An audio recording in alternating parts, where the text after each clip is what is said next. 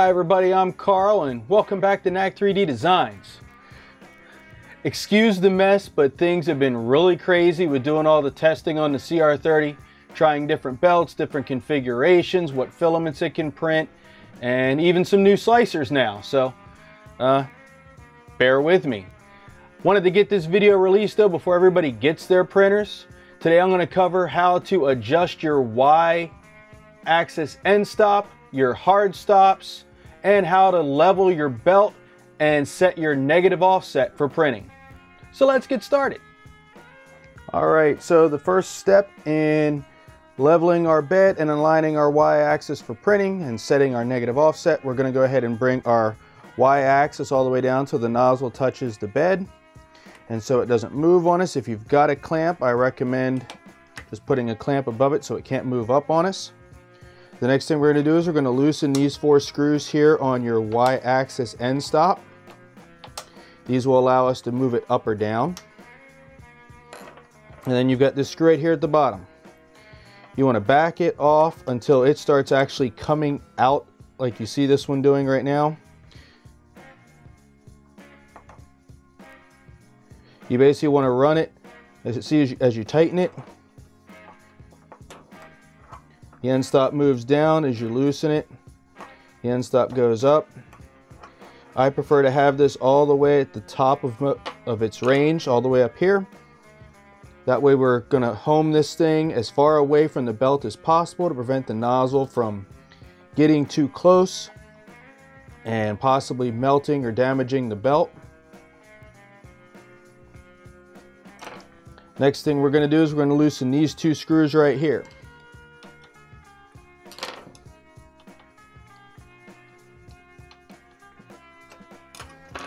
Then we're going to take the 0.2 millimeter shim they sent with the printer. We're going to move this up so it holds that shim in place.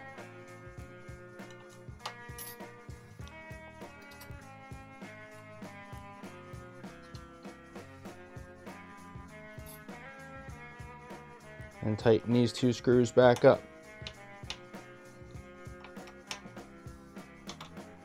This is basically setting a physical stop so you can't bury the belt or the nozzle into the belt and cause damage.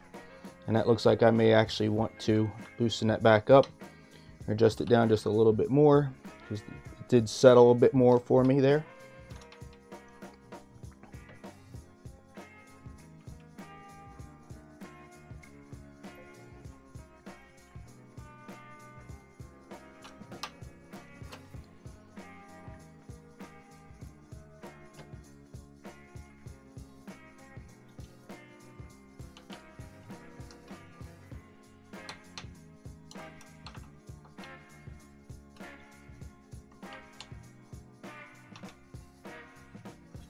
And then we're gonna do the same thing over here on this side.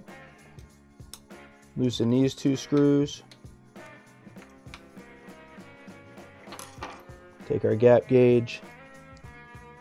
Once it'll move.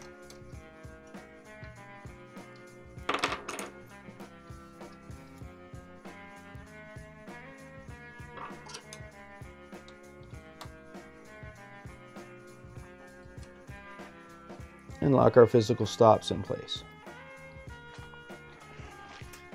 Now we can go ahead and remove this clamp.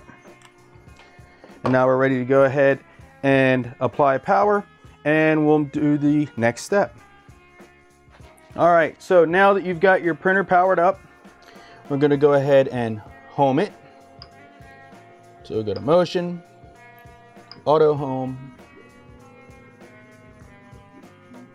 Now the next thing we want to do is we want to make sure our bed is all the way down. So you'll loosen these two knobs here. And you will turn these top knobs clockwise and crank it all the way down till the bed is grounded out. Now the next thing we will do is we will go into motion. You're gonna move axis, move Y, move it 0.1 millimeter increments and we're going to place our shim underneath the nozzle and we're going to run it negative until the nozzle touches the shim.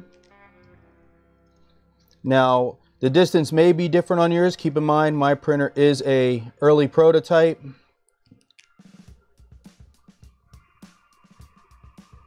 Careful you don't lose your shim down the edge here. That's just touching. Now we'll exit out of the y-axis. We're going to go to the x-axis and we're going to move to the middle of the bed. Depending on your firmware release, that may be 100 or 110 millimeters, depending on how they release it. They did advertise 200 for a width. It does have the capability of going to 220. We're still not touching. That's good. We don't want the nozzle to ground out halfway across, depending on your printer. It could get tighter as you go.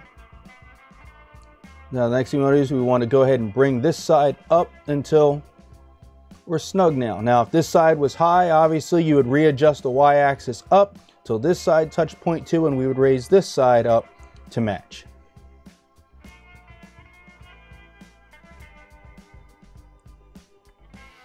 I've got that to where it's nice and snug underneath. Holding my top knob, I'm gonna go ahead and tighten this bottom one. Still pretty good. Take it back to the middle.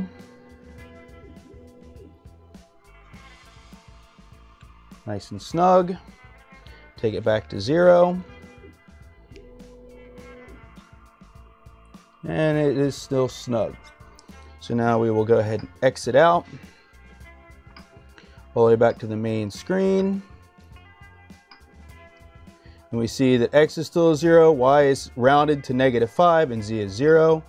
So now we'll go back to motion, move axis, move Y, go back to 0.1. Now, right now it is 0.2 millimeters above. Well, we wanted it zero. So you would think you go down 0.2. In my experience, it seems like it works best if you go down 0.3. Exit out. Back to the main menu. Go to configuration advanced settings, and set home offsets. Once you've done that, go back in, go to configuration, store settings. Now you've set your home offset and you are ready to start printing.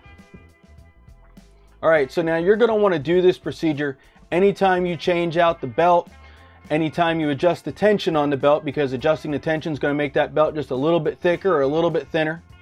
Um, once you start printing, if you're not getting good bed adhesion, you can also go in and adjust your y-axis with baby stepping now. So you can dial that down a little bit more. And once you get a good height for printing, you can go ahead and readjust your Y home offset after you've got found that sweet spot. But uh, that pretty much covers the procedure for today. If you like what I'm doing here, subscribe to the channel, ring the bell for updates. If you want to help support the channel, there are several links in the description below. Thank you for tuning in and we'll see you soon.